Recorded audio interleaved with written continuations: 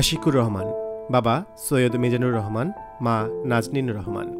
শৈশবের শুরু সাভার থেকে হলেও বাবার চাকরির সুবাদে তিনি দেশের বিভিন্ন স্কুলে পড়ালেখা চালিয়ে অবশেষে Dhaka BAF Shaheen school and college থেকে এসএসসি শেষ করেন। এরপর হারমান মাইনর কলেজ থেকে এইচএসসি সম্পন্ন করে ইসলামিক ইনস্টিটিউট অব টেকনোলজি থেকে ইঞ্জিনিয়ারিং ডিগ্রি অর্জন করেন। তিনি ঢাকা বিশ্ববিদ্যালয়ের আইবিএ হতে মার্কেটিংয়ে এমবিএ শেষ করে ব্রিটিশ আমেরিকান টোবাকোতে কর্মজীবন শুরু করেন। পর্যায়ক্রমে কিউবি গ্রামীণ ফোন সহ বেশ কটি স্বনামধন্য প্রতিষ্ঠানে কর্মরত ছিলেন। বর্তমানে তিনি নিজ প্রতিষ্ঠান ঢাকা ফুডিজের ব্যবস্থাপনা পরিচালক হিসেবে দায়িত্বরত রয়েছেন। সংসার জীবনে আশিকুর রহমান দুই পুত্র সন্তানের গর্বিত পিতা। গল্ফে লাক কতটুক জরুরি। Most successful golfer in all times Tigers মনে করেন in golf success depends on long practice এবং অনেক প্রেশারের ভেতরে কাজ করার যোগ্যতা থাকতে পারা। My today's guest is mister Ashikur Rahman. তিনি অনেকগুলো এমএনসিতে বিভিন্ন পদে কাজ করবার পরে এখন অন্টারপ্রনার ডিজিটাল কমিউনিকেশন নিয়ে কাজ করেন। তিনি ঢাকা ফুডিজের ফাউন্ডার তিনি অন্যান্য অনেক প্রতিষ্ঠানের পাশাপাশি মোস্ট রিসেন্টলি গ্রামীণ ফোনের ডিজিটাল ডিভিশনের পরামর্শক হিসেবে নিযুক্ত হয়েছেন। মিস্টার আশিক মনে করেন if you'd like to try something new there will always be people who'll talk about problem but if you think it will work make sure you have given everything in your capacity to make it happen. Welcome to Clear Presence iStyle, nothing to hide. Good morning Ashik ভাই. Good morning good morning Imdad কেমন আছেন? আমি ভালো আছি thank you আপনি কেমন আছেন? আলহামদুলিল্লাহ গুড আপনি এমএনসি দিয়ে শুরু করলেন then you have shifted totally R different segment মনে করেন কি এইটার একটা অনুপ্রেরণা আছে? গল্ফ সবসময় একটা কনফিডেন্স দেয়। কারণ গল্ফে যদি কারোর সামনে একটা খারাপ শট চলে যায় তখন একটু এম্বারেসমেন্ট সবারই লাগে। So I think the confidence is big thing how do start your day Ashik ভাই আমি বাচ্চাকে স্কুলে নামাই, আমার বড় ছেলেকে। তারপরে মাঝে মধ্যে গল্ফে এসে খেলা হয়। মাঝে মধ্যে একটু আলসিমি করি। I try to have a very heavy breakfast ওদের দুপুর পর্যন্ত আর সমস্যা না হয়। বাসা থেকে আমি কিছু কাজ করি। সামটাইমস আমার এক্সিকিউটিভরা আমার বাসায় চলে আসে। We have the early morning meeting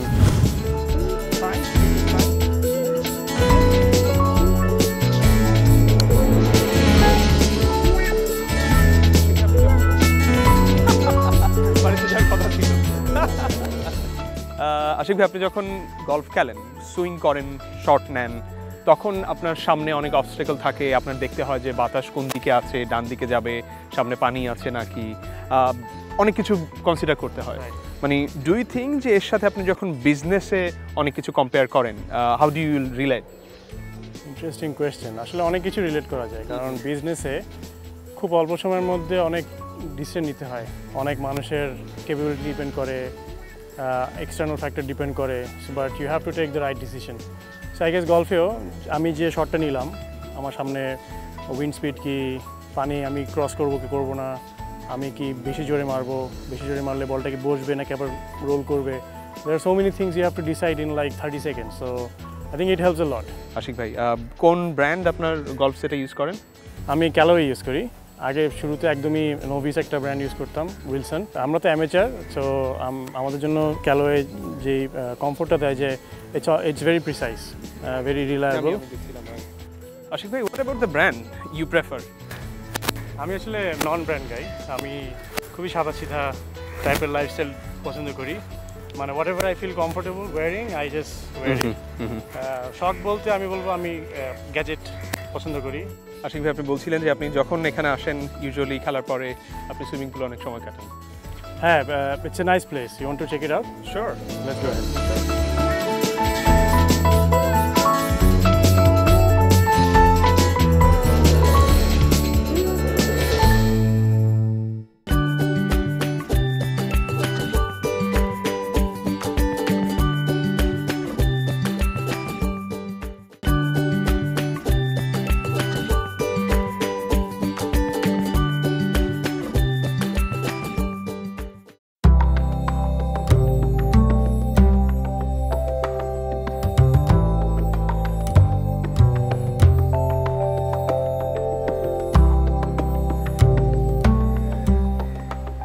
ভাই পড়াশোনা শেষ করে আপনি অনেকগুলো মাল্টি ন্যাশনালে কাজ করেছেন, অনেক বড় বড় রোল প্লে করেছেন।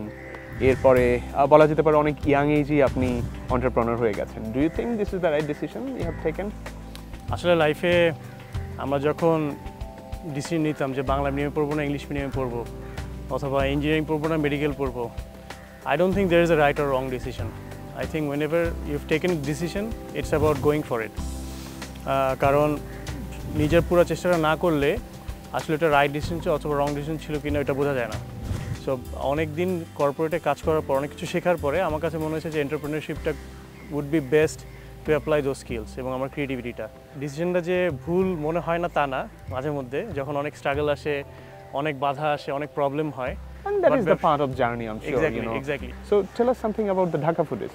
Yes I think food delivery প্ল্যাটফর্মরা শুরু থেকেই they delivering the business they are making money আমাদের বিজনেসটা একটু স্লো একটু সময় লাগছে but it has a long term impact And মার্কেটকে আপনার এডুকেট করতে হচ্ছে since you are the market মানে এক মার্কেটের ফার্স্ট স্টেশন আপনি।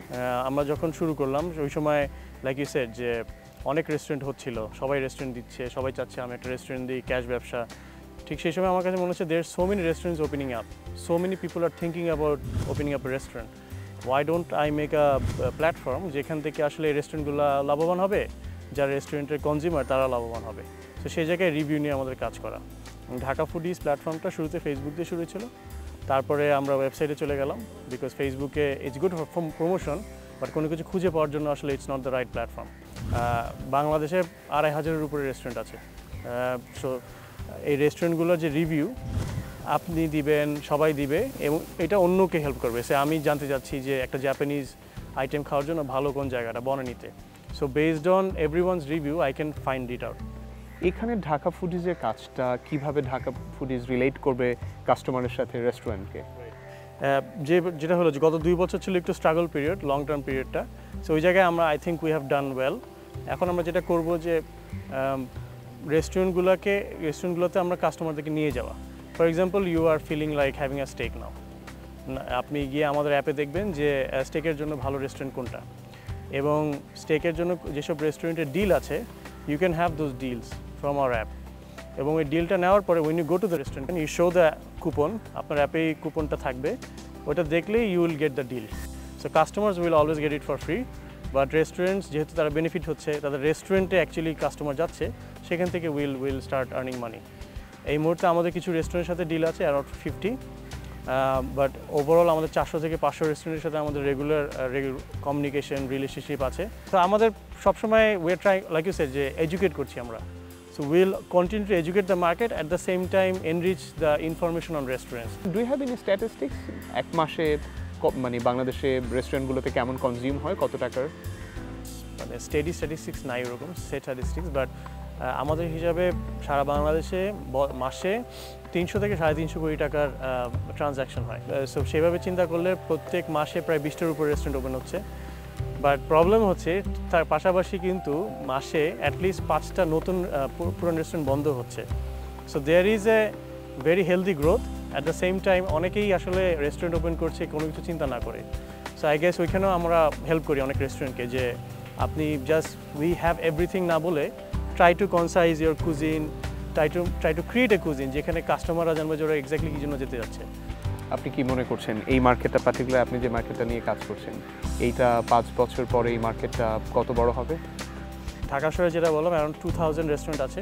I think it will grow to at least three thousand so I think পাঁচ বছরে আমাদের কারেন্ট যে restaurant market be three thousand four thousand at this moment এটা at least fifty percent grow করবে। So to be honest digital is the only way to go go about it do you cook আমি হয়তো omelette দেবে try করেছি। খেলে এমদাদ মনে হয় আমার বাসায় আর আসবেন না। যেহেতু আমরা এরপর আপনার বাসায় যাচ্ছি দেন আইল গো ফর টি মানে যেটা খেলে আবার নেক্সট টাইম আসা যাবে। হ্যাঁ ইনশাল্লাহ। এটা আমি শিওর ভালো লাগবে আপনার। So should you start let's go let's go Dear viewers, you are watching Clear Presence, I Style, Nothing to Hide. আমরা ইয়াং এন্টারপ্রেনার মিস্টার আশিকুর রহমানের সাথে কর্মীটোলা গল্ফ ক্লাবে এসেছি। এখানে উনি অনেক সময় কাটান। এরপর যাব তার বাসায়। ওখানে আমরা বাকি সময়টা থাকব। Please stay with us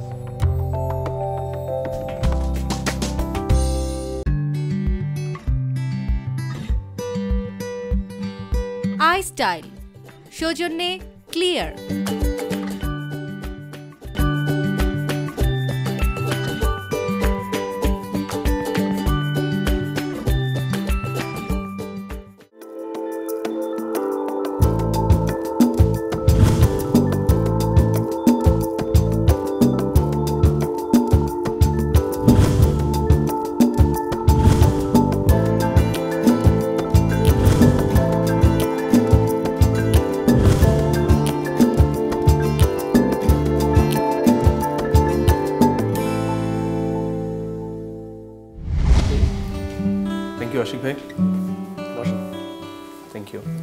interesting মানে আমি যখন গলফ কোর্সে ছিলাম এটা মোটামুটি একটা নন এগ্রেসিভ স্পোর্ট আমি আপনার বাসায় এসে দেখছি অনেক তলোয়ার ঘোড়া very aggressive how do you relate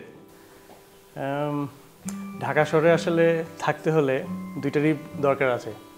একটু নন অ্যাগ্রেসিভ কিছু মানুষ নন অ্যাগ্রেসিভনেস পছন্দ করে আবার কিছু মানুষ অ্যাগ্রেসিভনেস পছন্দ করে। আর নতুন কোনো আইডিয়া নিয়ে শুরু করলে একটু অ্যাগ্রেসিভ না থাকলেই না আমার কাছে মনে হয়। তলোয়ার আসলে আমার আব্বা আর্মিতে ছিলেন। সেখান থেকে আমার আব্বার অনেক কালেকশনের কিছু পার্ট আমার এখানে চলে আসছে। আর ছবি যেটা দেখছেন, এটা বেসিক্যালি আমার আঁকা অয়েল পেন্টিং আমি স্কুলে থাকতে মেনলি ছবি আঁকতাম, একটা আর্ট স্কুলে শিখেছিলাম। আম- মেনলি ফটোগ্রাফি এখন আমার শখ হিসেবে পছন্দ করি। অ্যান্ড আমি মেনটেন করার চেষ্টা করি স্বাস্থ্য কিছুটা। সো আমি ওয়ার্কআউটও করি। আমি একটা জিমে তিন থেকে তার চার দিন সময় কাটাই। Tell us something about your schooling college কোথায় ছিল ইউনিভার্সিটি ভেরি রাইটলি সেট আমার স্কুল ছিল অনেক জায়গায়। আব্বা যেহেতু আর্মিতে ছিলেন অনেক জায়গায় পোস্টেড ছিলেন। শুরু হয়েছিল সাভার থেকে। তারপরে ওই রংপুর ক্যান পাবলিকে ছিলাম ক্লাস ওয়ান টু তারপরে যশোরে you are also in Daud public school আপনি দাউদিয়ান আমি দাউদ পাবলিকে ছিলাম টু থ্রি ফোর আর তারপরে ছিলাম শহীদ আনোয়ার স্কুলে। শহীদ আনোয়ার স্কুল শহীদ আনোয়ার? আপনি ছিলেন? হ্যাঁ গার্লস স্কুল। গার্লস স্কুলে ক্লাস ফোরে বিকজ বছরের মাঝখানে আসছিলাম তখন ওই স্কুল ছাড়া কোনো উপায় ছিল না।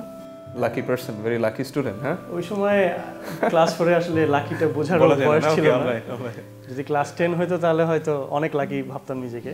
সো যাই হোক তারপরে আমরা আমি গেলাম সায়েন্স স্কুলে ক্লাস ফাইভ থেকে ঢাকা সাইন বিএফ সায়েন্স স্কুল ওইখানে নাইনটিন নাইনটি সেভেন আমি ম্যাট্রিক পরীক্ষা দিই। তারপরে আমি কলেজ করি হারম্যান মেনর মিরপুর চোদ্দ নম্বরে। না বাট সেই লাখটা আমার পুরোপুরি চেঞ্জ হয়ে যায় আমি যখন ইউনিভার্সিটিতে যাই। বিকজ আমার আব্বা আম্মা সবসময় চেয়েছেন আমি ইঞ্জিনিয়ারিং পড়ি আমি ইসলামিক ইউনিভার্সিটি অফ টেকনোলজি গাজীপুরে। আই উড সে যে মানে it was a very very good experience for me facility বলি, আমি যদি সব কিছু বলি, তো ওইখানে আমরা, আমি প্রতিদিন আসা আসা যাওয়া করতাম, এখানে স্টুডেন্ট পড়াইতাম, আমার অনেক ফ্রেন্ড সার্কেল ছিল এখানে তাদের সাথে। সো আমি প্লাস আমি যেটা বললাম যে ইউনিভার্সিটি থেকে আমি ওয়ার্কআউট করতাম। সো আমার ফার্স্ট হাফ কাটতো আইউটিতে সেকেন্ড হাফ কাটতো আমার ঢাকায়। সো দুই সালের অক্টোবরে আমি আইউটি পাস করি। আর দু হাজার চার সালের জানুয়ারিতে আমি আইবিআর এমবিতে ভর্তি হয়ে যাই। ঠিক ওই সময় আমার ব্রিটিশ আমেরিকান টোবাকোতে চাকরি হয়। দেড় বছর ব্রিটিশ আমেরিকান কাজ করার পর টোবাকোতে কাজ করার পর আমি গ্রামীণ ফোনে গেলাম মার্কেটিংয়ে I started all over again as a marketier officer Qubee was an amazing experience আমি বলব যে আমার লাইফে চাকরি যতগুলো ছিল Qubee was the best experience কারণ আমি একদম লিটারেলি গ্রাউন্ড লেভেল থেকে শিখেছিলাম। যদি আমি হেড অফ ব্রাঞ্চ ছিলাম I was the only person in marketing so কিউবিতে দুই হাজার নয়, দশ, এগারো ওয়াজ এক্সট্রিমলি অ্যাগ্রেসিভ ব্রিলিয়েন্ট এবং ভেরি স্যাটিসফ্যাক্টরি আমি বলব যে আমরা যা কাজ করতাম সেটার একদম ডাইরেক্ট ইম্প্যাক্ট আমরা দেখতাম মার্কেটে tell us something about your family আমার ওয়াইফ নাদিয়া উনি একটা কর্পোরেটে এখন আছেন। আই হ্যাভ টু বয়েজ বড় ছেলে সাত বছর আর ছোট ছেলে আড়াই বছর। Um, বাবা মা আছেন আর আমরা এক ভাই এক বোন। হোয়াট ডু ইউ থিঙ্ক আপনি কর্পোরেট ছেড়ে পুরোপুরি অন্টারপ্রেনার হয়েছেন অনলাইন প্ল্যাটফর্ম ইউজ করছেন নতুন যারা হতে চায় তাদের জন্য আপনার কি মেসেজ যারা অনলাইন এন্টারপ্রেনার আছে ওয়েব প্ল্যাটফর্ম অনলাইন প্ল্যাটফর্ম নিয়ে কাজ করছে বেসিস বলেন ই কমার্স বলেন, সবাই every for everyone the message is be global আমাদের এখানে ট্যালেন্টের অভাব নাই। Just make sure your idea can be launched and scale very globally in in a very short time আমরাও সেরকমই প্রত্যাশা করি আমরাও চাই আমাদের প্রোগ্রামে আমাদের আইস্টাইলে সেরকম অনেক নতুন নতুন অন্টারপ্রনার আসুক যারা অনলাইন প্ল্যাটফর্ম করে আপনি যেটা বললেন যে বিলিয়ন ডলার ইনকাম করবেন আমরা তাদের নিয়ে কাজ করতে চাই। আশিক ভাই thank you very much for your time today আপনি অনেক সময় দিয়েছেন we real appreciate it sir thank you Imdad it was a pleasure dear viewers অসংখ্য ধন্যবাদ আমাদের সাথে থাকার জন্য। পরের এপিসোডে আমরা অন্য কোনো গেস্টকে নিয়ে আসব। Until I see you again in next week I wish you a very good week goodbye